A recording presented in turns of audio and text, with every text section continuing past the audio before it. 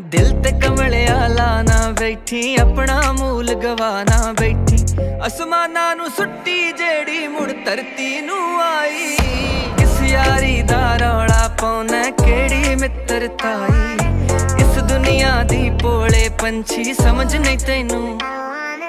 ਇਸ ਦੁਨੀਆ ਦੀ ਪੋਲੇ ਪੰਛੀ ਸਮਝ ਨਹੀਂ ਤੈਨੂੰ ਆਈ।